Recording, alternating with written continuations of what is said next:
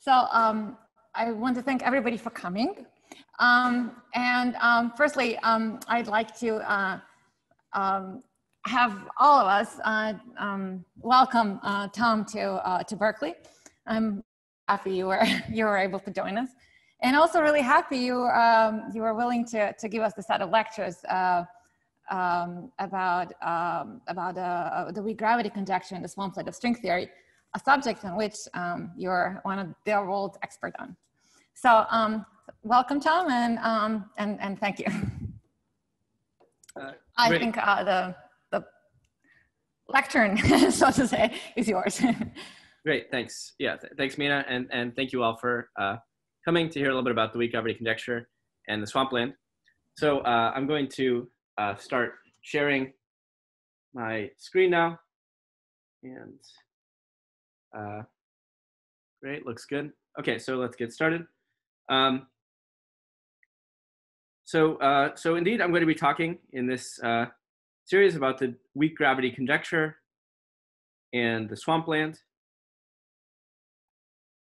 Uh, and this will be a series of three lectures. So um, in the first one, we're going to be focused uh, primarily just on sort of background and definitions. So this will definitely, unfortunately, be uh, the most boring of the three lectures. So uh, unfortunately, we, you know, we got to get the boring stuff out of the way. But uh, what'll actually be kind of exciting is that you'll, you'll see that what the sort of the background and the uh, definitions that we talk about are, seem relatively boring. It seems like things that, that you really couldn't get much physics out of. And that's what's going to be exciting in lectures two and three, is we start to look at some of the evidence for the weak gravity conjecture and uh, some of the implications of the weak gravity conjecture and the swampland.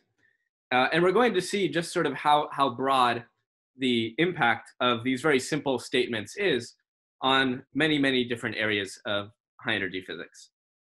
So uh, let me begin by apologizing for my terrible handwriting. It's always terrible. It's especially bad with this thing, but uh, just ask questions if you can't read anything.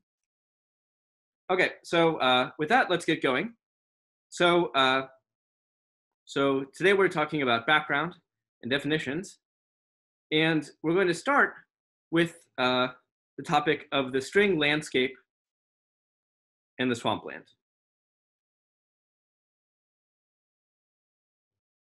So it's pretty well known that string theory is a uh, consistent theory of quantum gravity. And in the ultraviolet, it seems that string theory is actually unique. There are different limits of string theory. Uh, which go under names like type 2A and type 2B. But there, although there's, uh, but there seems to be just a unique theory in the ultraviolet. However, if one starts from the ultraviolet and flows down to the infrared, do some renormalization group flow. Uh, sorry, let's start a new whiteboard. So one starts from the ultraviolet, starts from the ultraviolet, and flows down to the infrared there seem to be not just one, but many consistent effective field theories, which are compatible with string theory in the ultraviolet. So one, one example would be presumably the standard model is an example of a low energy effective field theory that's consistent with string theory. But there seem to be many, many others. Sometimes the the code number that you hear for this is something like 10 to the 500 consistent uh, low energy EFTs. But in fact, uh, we, we really don't know how many there are. There seem to be a lot. Now, whether you think this landscape of low energy effective field theories is a good thing or a bad thing, in large part depends on your perspective. But certainly from the pr- perspective of testing string theory experimentally, the landscape is a bit of a headache. Simply put, the more uh, possible effective field theories you have, the harder it is to make a prediction.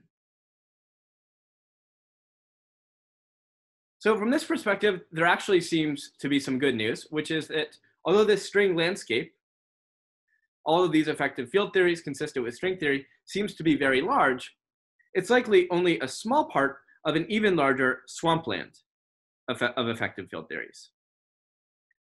So the swampland is defined to be the set of low energy effective field theories which seem consistent to a low energy observer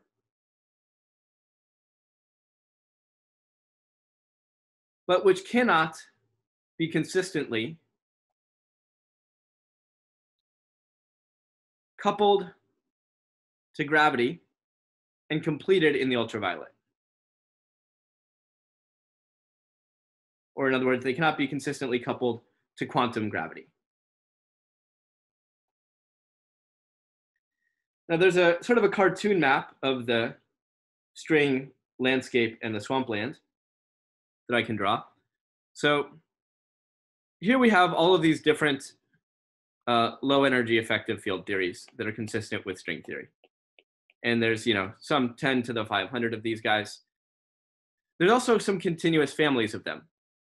So maybe some, uh, some regions kind of like this. Nonetheless, so, th okay, so this is the landscape. Nonetheless, though, this landscape seems to be only a small part of a much larger ocean of swampland. So if this is the, the whole set, it is all just the set of, of seemingly consistent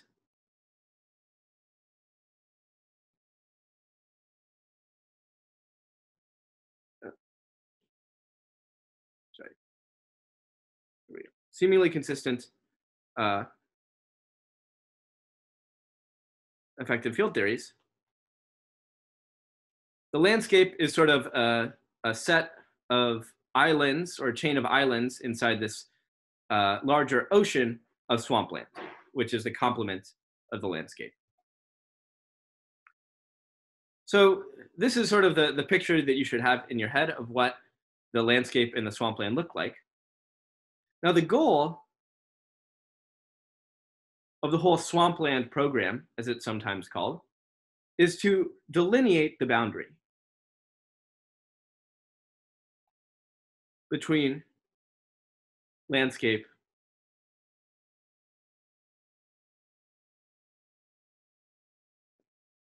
and swampland. In other words, we want to figure out what are the universal features of theories in this landscape that distinguish them from the theories in the swampland? What, in other words, are the universal features of quantum gravity theories? And just as importantly, how do we put these universal features to the test? How do we derive low energy consequences from these uh, from this distinction of the landscape and the swampland that we can actually go out and measure. And this is really a crucial, a crucial ingredient in the ultimate goal, which is, uh, sorry, how do we test string theory? So we're trying to figure out what, what are things that we can actually test? What are features of string theory that we can put to the test? Now this all sounds very nice, right? I mean, for, for many, many years, people would have, would have loved nothing more than to develop some sort of experimental consequences of string theory, something that we can go out and test.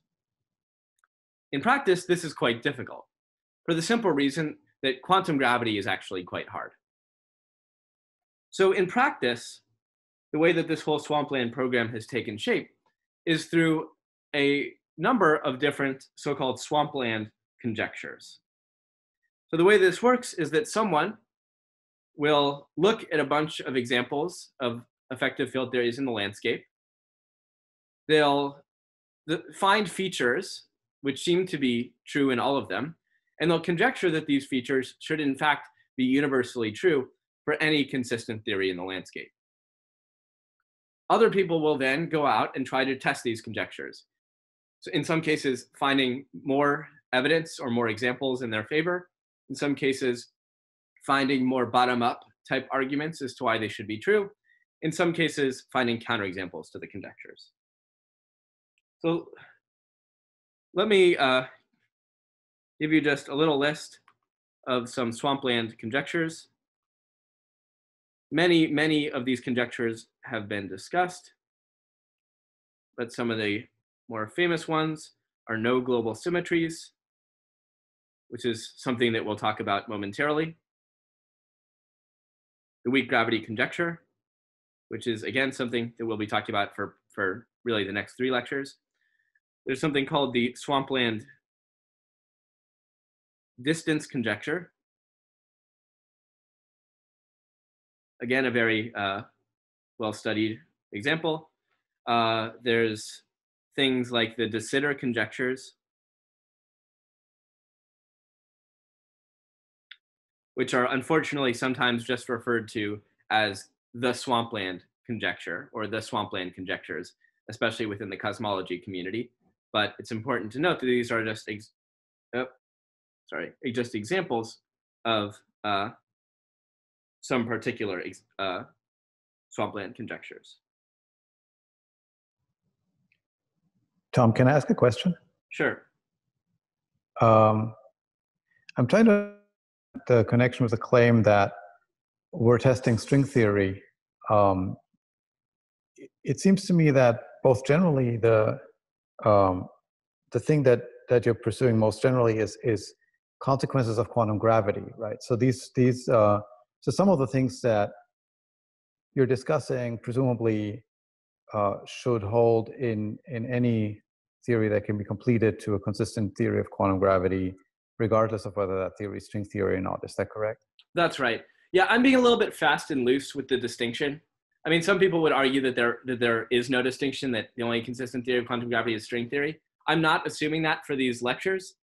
Uh, so in principle, one could talk about both sort of a string swampland and a, and a more general quantum gravity swampland, which would, I guess, be a subset of that. But for, for our purposes in this talk, I'm not going to be too careful with that. We'll see that there are some arguments for these conjectures which tend which seem to be more general, some which assume string theory. Uh, I'm not going I'm not going to be too too dogmatic about the distinction.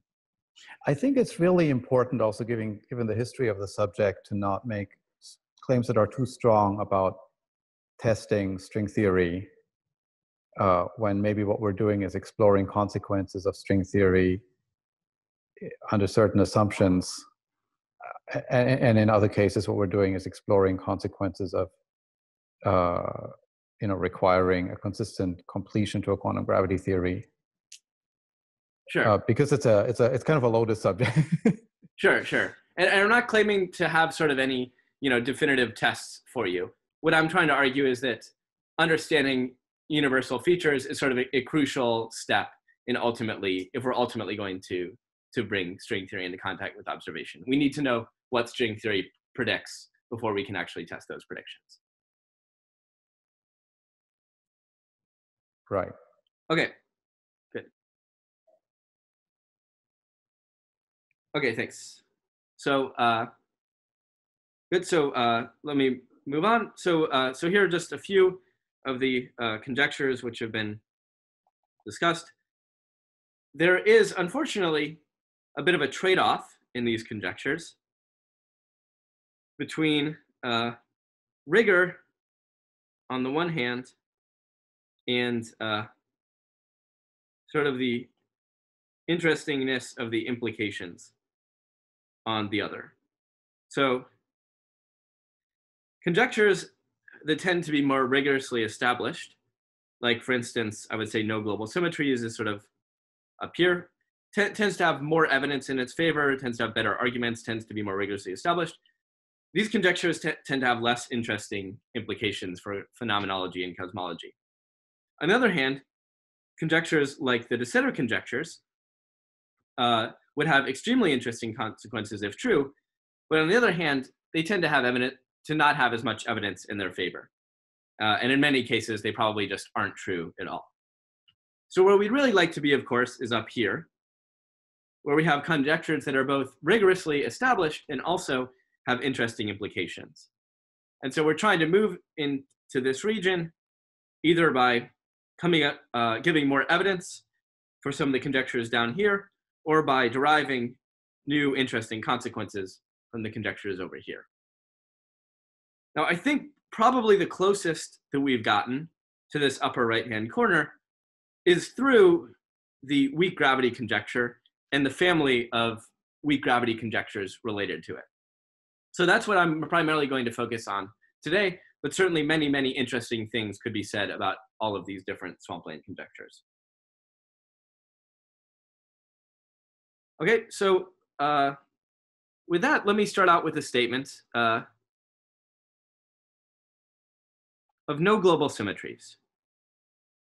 This is one of the more, I would say, more rigorously established conjectures, one without too many interesting implications, however. So the statement of no global symmetries is, is basically just what it sounds like. The statement is that there should be no exact global symmetries in a consistent quantum gravity theory. Uh, I'm going to walk through sort of the old standard argument, which specifically applies to the case of continuous global symmetries. But uh, it's generally believed, and there have been also some arguments in the last few years, that this should apply to discrete global symmetries as well.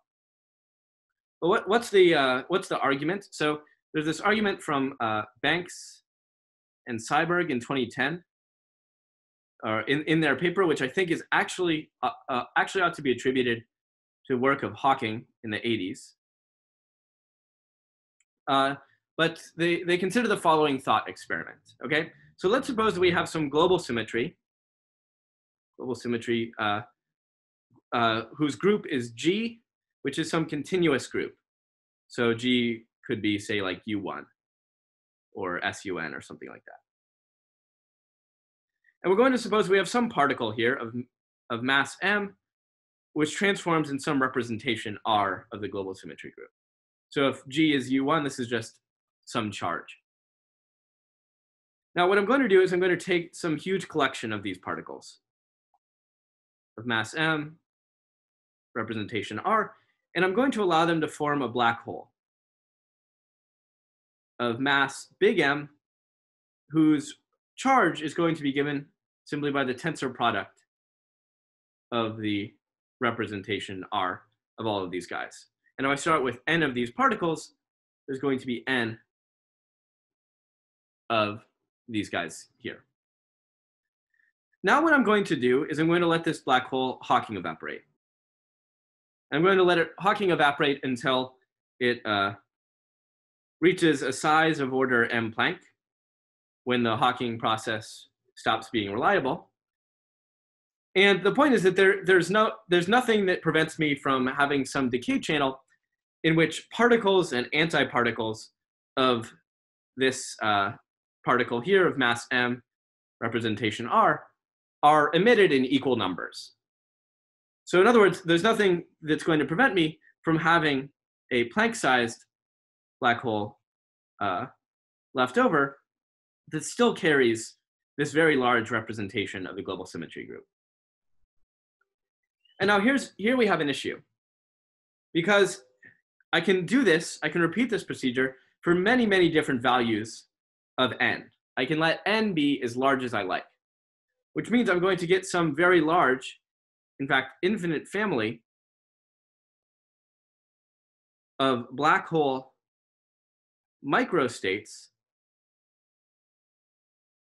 indexed by n, by this integer n, for a single macro state, which just has this mass of order m Planck. Because this is a global symmetry charge, there's no way for an outside observer to tell that it's carrying this huge representation. If it were a gauge symmetry charge, an outside observer would feel an electric field and they could tell what the charge is. But here it's a global symmetry. There's no way to tell the charge. Therefore, to an outside observer, all of these states look the same. I get an infinite family of black hole microstates indexed by n for a single macro state. This is what's known as a black hole remnant. It will just be a stable black hole. It's kinematically stable because there's no combination of these particles that this black hole could emit to get rid of all of its charge. So it's going to sit there. I'm going to have this Planck-sized black hole that just sits there. And uh, I have this huge number of microstates, this huge degeneracy. It will violate uh, the covariant entropy bound. If I let these things run in loops, they'll lead to renorm infinite renormalization effects. Basically, bad things happen when we have these remnants. And so the conclusion is if we don't want these remnants, then that means there can just not be any global symmetry. It's important that this was a continuous symmetry in this argument because if it's a discrete symmetry, there's only a finite number of representations. So I can't let n be as large as I'd like. So this is sort of the standard argument against exact continuous global symmetries in quantum gravity. And uh, notice that there's no reference to string theory. This is more of a bottom-up type argument. Okay, so, so that's sort of the, the first example of a swampland conjecture. Uh, now let's talk about the next one, which will really be the star of our show, which is the weak gravity conjecture. The weak gravity conjecture holds the following. Suppose I have some d-dimensional quantum gravity theory with some U1 gauge field. So in particular, our universe has electromagnetism and d is equal to 4. The claim of the weak gravity conjecture is that there exists some particle of charge q, which is equal to the gauge coupling E times the quantized charge n. So for an electron, this would be like the electric coupling constant, and n would be equal to 1. Mass m, which is super extremal.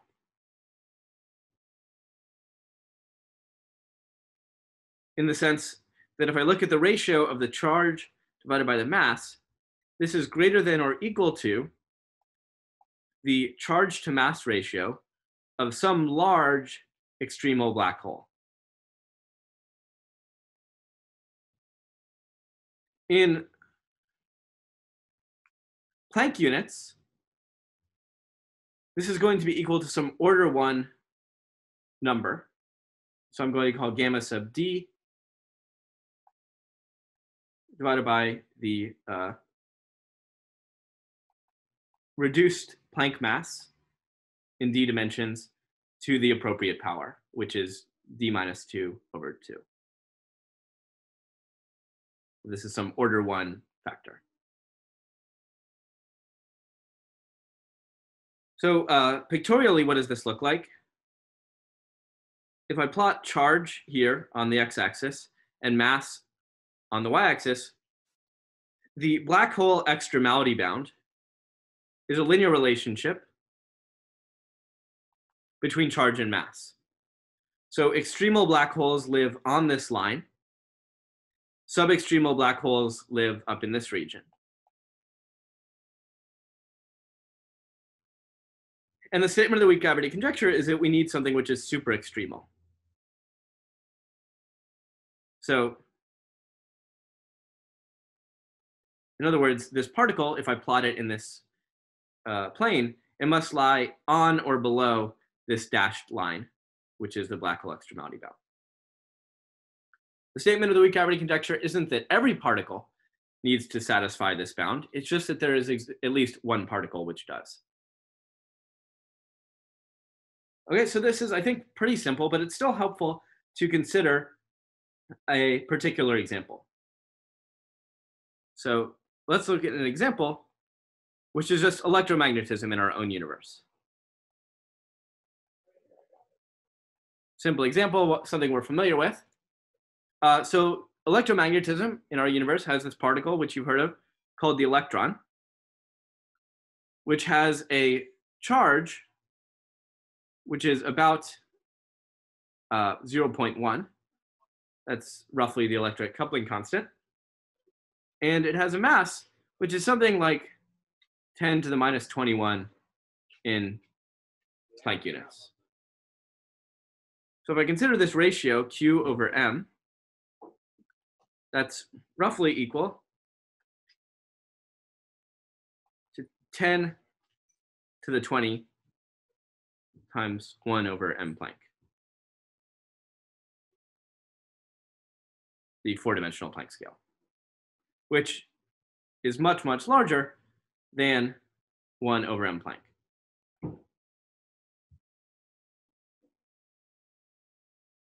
And so the electron satisfies the weak gravity conjecture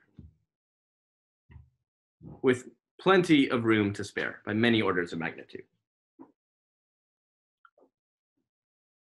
So uh, this isn't so surprising, really. Uh, so, so the conjecture, uh, the weak gravity conjecture is not so surprising, right? I mean, it's, it's satisfied by many orders of magnitude in our own universe, but the claim of the weak gravity conjecture is that this should actually be true more generally for any U1 gauge theory in any consistent theory of gravity, of quantum gravity. Uh, it's worth maybe making a, remark at this point.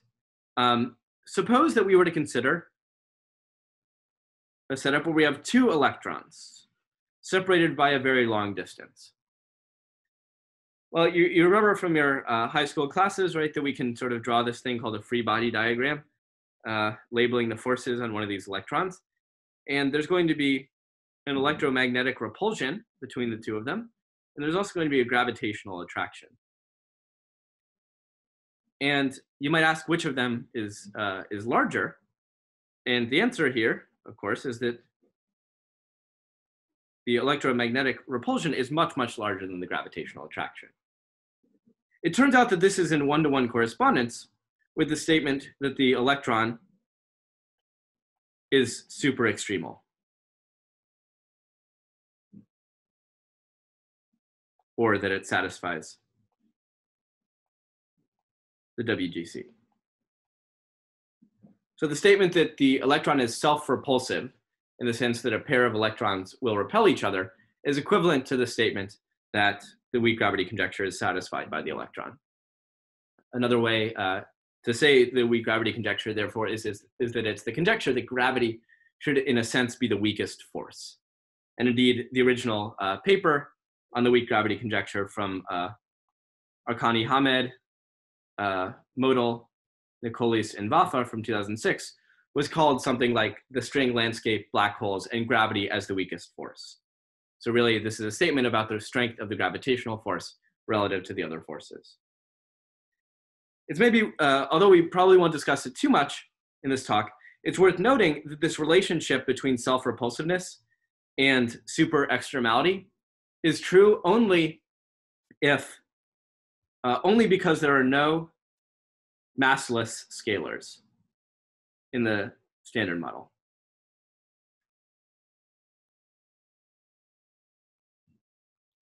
If I, if I have a massless scalar in my theory, it mediates a long range attractive force, the same way that gravity mediates a long range attractive force.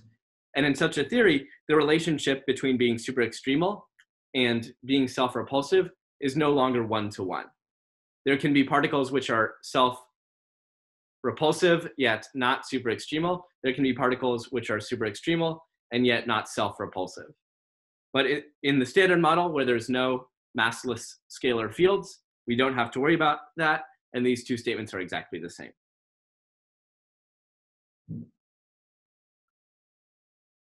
Okay, so let me move on now to uh, the motivation.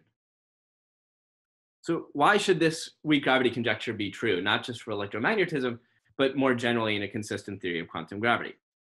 I'm going to explain the original argument that was given in this original paper as to uh, why the conjecture should be true.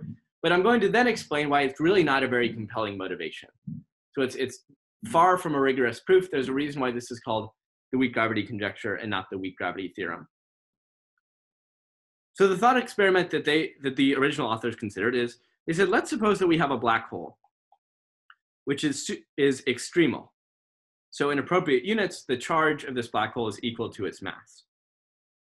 Well, what, what I can do then, if I have a particle which satisfies the weak gravity bound, q greater than m, is that this black hole can give off one of these particles, and what I'll be left with is a slightly smaller black hole whose charge is now smaller than its mass. So it's subextremal. And this guy can give off another one of these particles. And if I wait long enough, you know, this thing could actually just evaporate down into nothing by emitting some combination of these particles. So this is the case where the weak gravity conjecture is satisfied. Now, what if the weak gravity conjecture is not satisfied? Well, then I start out with this black hole, Q equals M, and any particle which this guy is going to emit necessarily has Q less than M because the theory doesn't satisfy the weak gravity conjecture. In that case, this resulting black hole is going to actually be super extremal. It's going to have a charge which is larger than its mass. And it turns out that this sort of a decay process just doesn't happen. One way to see that, that why it might be problematic is that this sort of super extremal black hole here would violate cosmic censorship. It has a naked singularity. And so this, you know, this doesn't happen. This is not something, uh, this is not something that uh, we want to allow. And so instead what will happen is this black hole will just be stable. It will just sit there. We'll have this stable black hole with uh, Q equal to M, and it'll just sit there and sequester its information indefinitely. Now, we, we already came across an example of stable black holes once in this talk when we were looking at the case of no global symmetries. And there we said that there was this problem because we get these thing called remnants. Stable black hole, Planckian sized, huge degeneracy. In this case, we have stable black holes, but these stable black holes are not remnants. There isn't any sort of infinite degeneracy. Instead, we have only a finite number of these stable black holes below any given mass scale. Because as the uh, charge of this black hole increases, so does its mass, which is different from the case of the global symmetry that we saw before. And so this doesn't lead to any infinite renormalization effects. It doesn't violate any known entropy bounds. There isn't anything obviously wrong with having stable extremal black holes in your theory. So as I say, this motivation really isn't all that compelling. Nonetheless, for whatever reason, it seems to have gotten people to start digging in the right place. Because by now, there are many, many examples and other arguments that have been given in favor of the weak gravity conjecture, which we'll get to next time. But for today, we're just going to sort of keep this motivation in the back of our head. Remember that the weak gravity conjecture is, is motivated by the idea or the desire to forbid stable black holes. And we're going to just work with that. Okay, so uh, with this, now let's talk a little bit about some generalizations of the weak gravity conjecture. And the first one that's, I think, worth mentioning is the weak gravity conjecture for multiple gauge fields.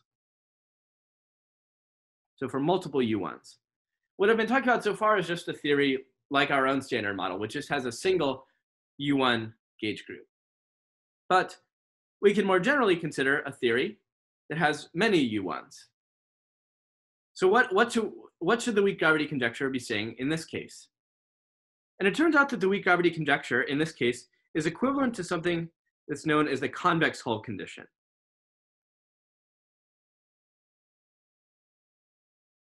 Or just the CHC.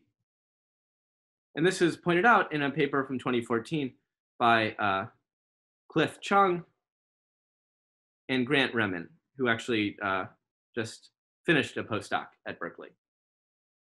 So, so how does this convex hull condition work? Well, what I'm going to do is I'm, I'm going to take my particles in the theory.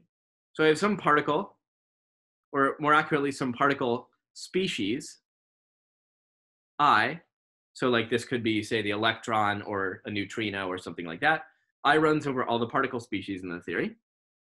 And for each such particle species, I'm going to define what's known as the charge to mass vector z sub i, which is equal to the charge vector of the ith particle divided by its mass, normalized by the Planck scale. Uh, we'll suppose that we're working in four dimensions, so this is just m Planck, four, and uh, divided by the uh, order one number gamma that we saw earlier. So again, we'll, we'll just work in four dimensions for, for simplicity, and so this is just gamma 4. This charge vector here, uh, why do we have a charge vector? So if I have a u1, I have a charge. If I have two u1s, I have two charges. And if I have n u1s, then there's, I'm going to have an n vector of charges. So this labels the charge under each of the n different u1s. So now the claim, the statement of the weak gravity conjecture is equal to the statement that the convex hull of the Zi for all the different particles in the theory should contain the unit ball in Rn, where n here is again the number of U1s. So let me draw an example. Let's say, say we have a theory that has two U1s. So we can look at the uh, charge Q1 over M times M Planck over gamma 4. And here, Q2 over M, M Planck over gamma 4. So I'm plotting the charge to mass for the first U1 on this axis, charge to mass for the second U1 on this axis. Here are all my particle species. They, they fit somewhere on this, uh, in this plane, and I can draw the convex hull by connecting all of these dots like so. So this is the convex hull of this set of points. The claim of the weak gravity conjecture is that this convex hull should contain the unit ball, the ball of radius 1. And you might wonder why, what, what's so special about the ball? And the point is that this is the region in this space where black holes live. Extremal black holes live on the boundary, subextremal black holes live in the interior. And if any region, any subregion here is not contained in the unit ball, so for instance, if I have a situation more like this, and the ball looks something like this,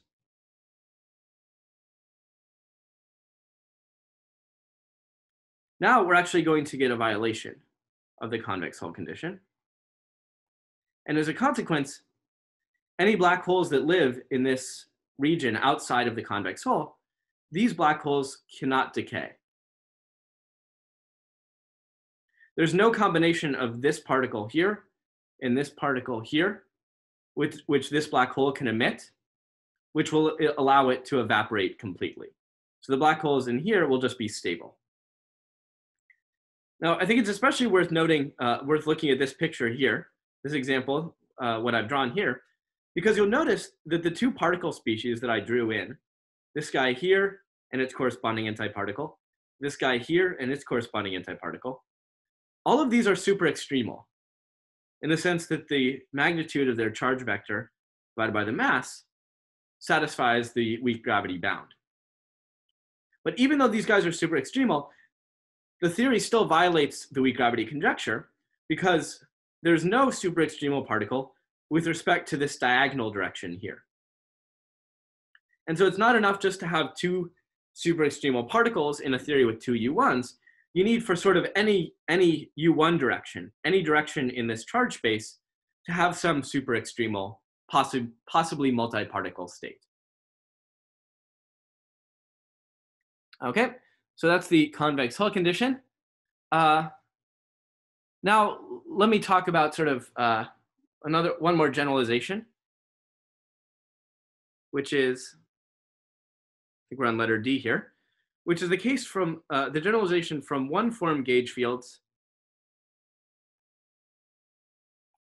to p form gauge fields. So, so far we've been dealing with just the case of an ordinary one form gauge field. By one form, I mean the, the gauge field A mu has just one index. But more generally, in quantum field theory and in quantum gravity, we can have higher form gauge fields, which would be something like this. Some gauge field which has not just one, but p indices. So this is uh, what's known as a p-form gauge field. For the case of the ordinary weak gravity conjecture for a one-form gauge field, remember the statement is that the charge divided by the mass should be greater than or equal to some you know, gamma d over m Planck to the appropriate power, which is equal to the uh, charge to mass ratio of an extremal black hole. For the case of these higher p-form gauge fields, there's a similar statement, only instead of the charge now, we have we're going to have the charge density Q, which is the charge per unit volume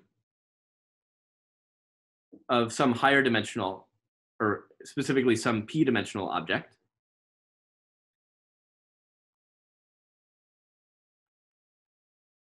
And instead of the mass, we're going to have the tension, which is the mass per unit volume of this p-dimensional object.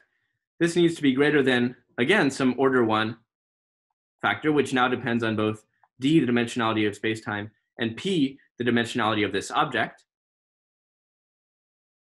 over m Planck in d dimensions, just some appropriate power, which is equal to the charge density to tension ratio of an extremal black object of dimension p.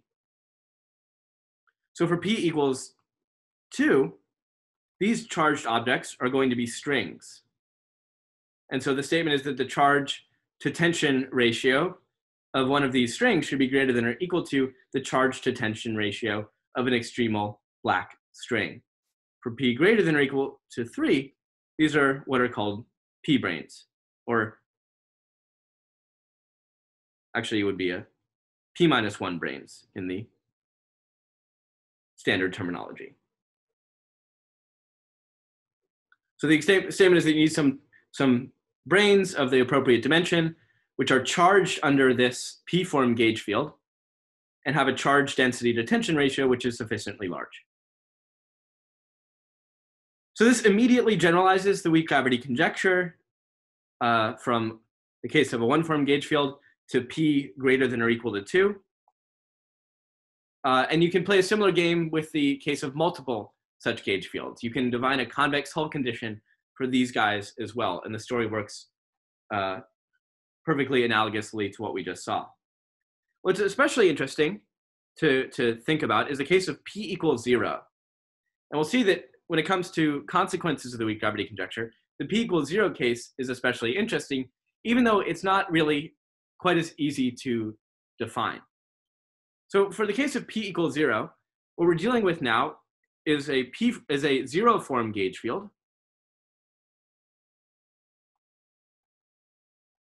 which is a scalar phi, which is periodic.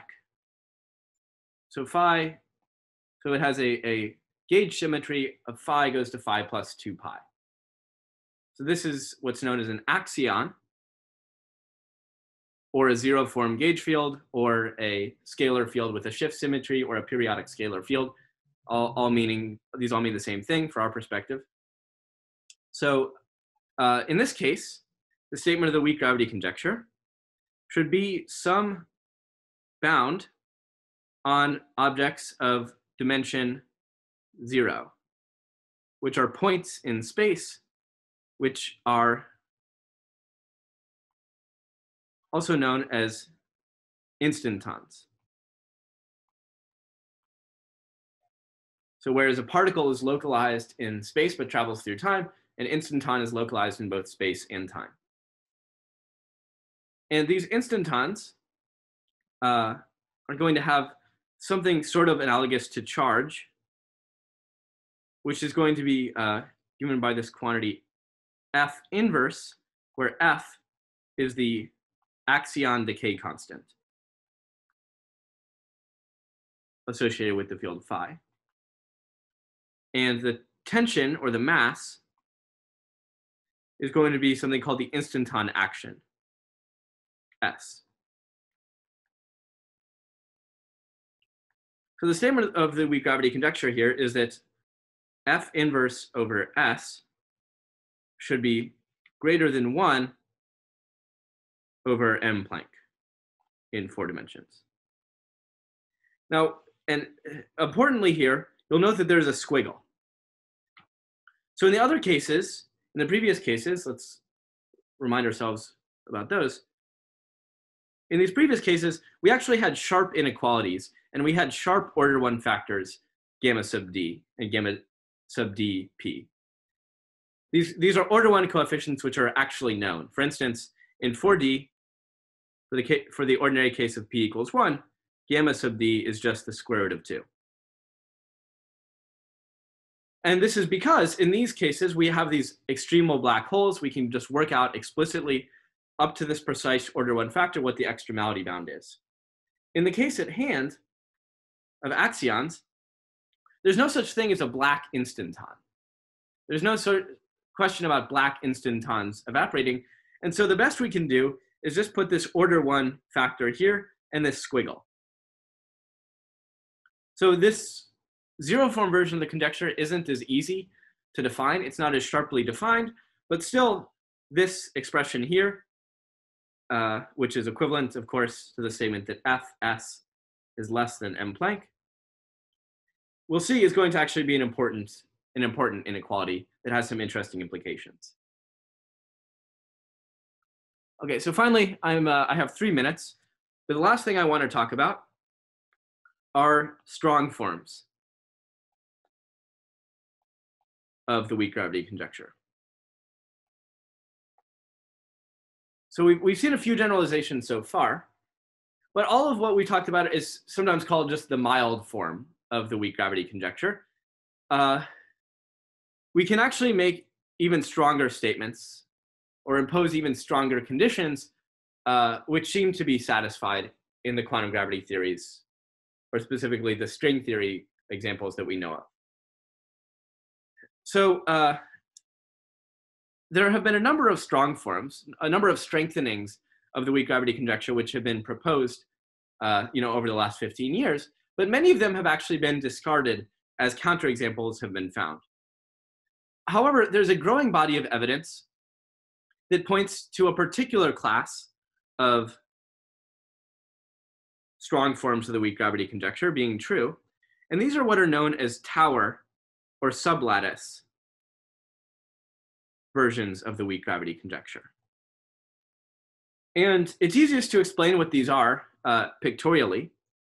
You remember we drew this diagram of the weak gravity conjecture before we said that there needs to exist at least one particle which is on or below this line. The idea behind the tower and sublattice weak gravity conjecture is that instead, you can't just have a single particle down here, but you need a whole infinite tower of such particles, which generally uh, asymptote to this extremality bound as you go to increasing mass and increasing charge. So this is a tower of WGC satisfying particles. To be more precise, and you can convince yourself that this definition will give you this sort of tower, the statement of the tower weak gravity conjecture is the statement that uh, given some charge vector in your in the charge lattice of your theory. This is the charge lattice. There exists n such that there exists a super extremal particle of charge n times q, where here n, n is an integer. This is going to give me an infinite tower because if I just take Q to be larger and larger, then I'm going to, to ultimately get sort of a whole infinite tower.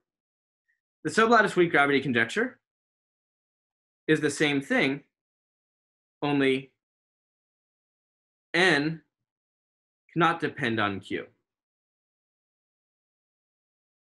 In other words, there's a universal n such that given any q, any vector q in the charge lattice, there's going to exist uh, a superextremal particle of charge n times q.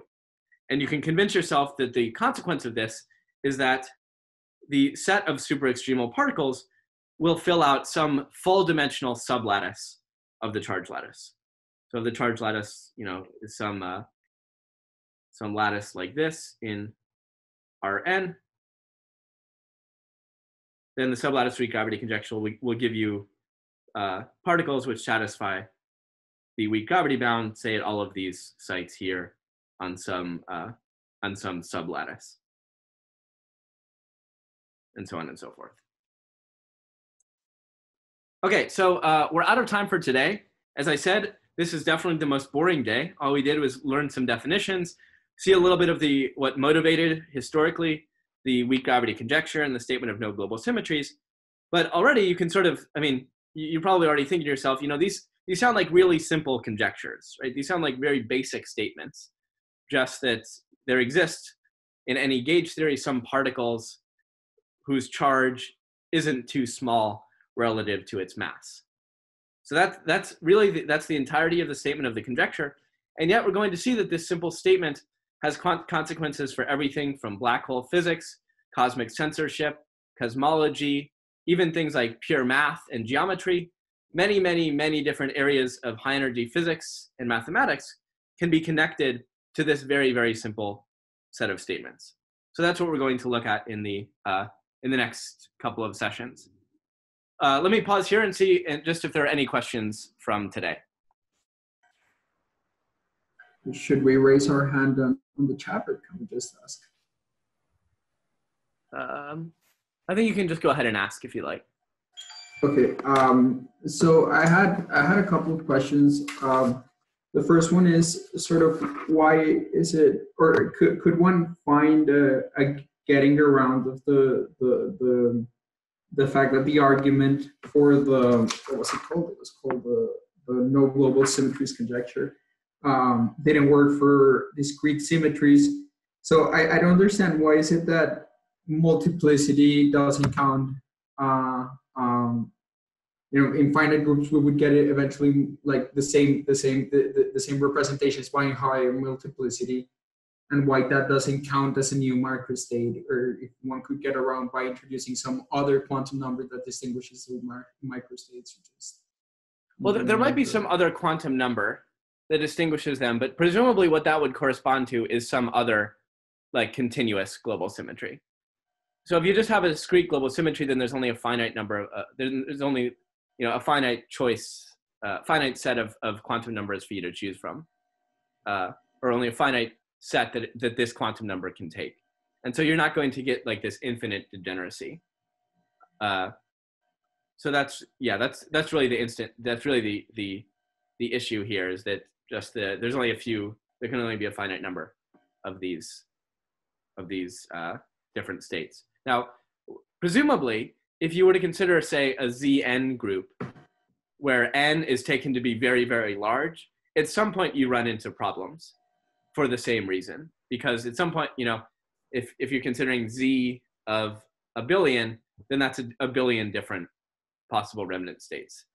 So uh, i think some people have actually looked into trying to make this a little bit more quantitative and, and saying sort of how large n can be but um, but definitely that, that's it requires a little bit uh, a little bit more work and a little and a little bit uh, more quantitative understanding here we just ran into this infinite degeneracy. And so that's, that's really a signal that something's going wrong. Okay, thank you. And, and the other question was more, of a curiosity of, of, of what sort of problems does one try to run, uh, one run into if one tries to do this weak gravity conjecture for, for, for other charges that are not U1? Okay, good. Yeah. So, so there, one can pers- perfectly well um, write down an, an, an, analogous statement of the weak gravity conjecture for more general gauge fields. Um, in fact, oh, huh, I've created the maximum number of whiteboards, it's telling me. Okay, so the, uh, so the statement of the weak gravity conjecture for non-abelian gauge fields would be defined similarly. It's a statement about the ratio of the, the charge under some Cartan generator uh, uh, relative to the mass. So in that case, uh, so for instance, for like SU2, right, you have the doublet representation, which has charge one half or spin one half, if you will. And so that's telling you that one half times the gauge coupling uh, divided by the mass has to be greater than or equal to that for an extremal black hole. So you can define it the same way. You can define a, a tower and sublattice version analogously, where you, you demand that you have not just particles of increasing charge, but now you have particles of increasingly large representations, uh, which, which satisfy the weak gravity bound. So the whole story can be run anal analogously. It's just a little bit simpler to talk about U1s. Oh, okay. Okay. Thank you very much. I enjoyed it a lot. Thank you.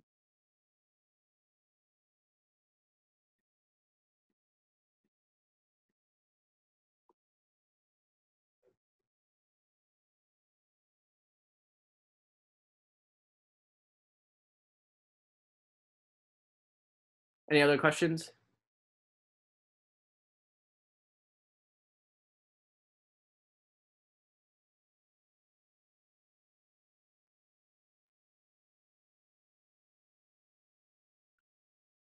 Okay, uh, if not, I guess what I encourage you all to do is uh, before Wednesday's talk, just sort of review uh, the different versions of the conjecture that we talked about. We talked, remember, we talked about the tower sublattice version, the P-form version, the convex hull condition. Remind yourself of the definitions, uh, and then we'll uh, next time, as I say, we'll we'll really get into some more interesting things and look at some of the different evidences uh, and arguments that have been given in favor of the conjecture. So great. I'll uh, stop recording here, and I guess I'll see you all on Wednesday.